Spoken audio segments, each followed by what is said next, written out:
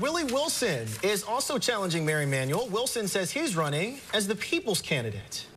We're running on equality, uh, compassion, and friendliness. Uh, we believe that if the mayor of the city of Chicago is there for the people, we do not believe in people should be arrogant attitude.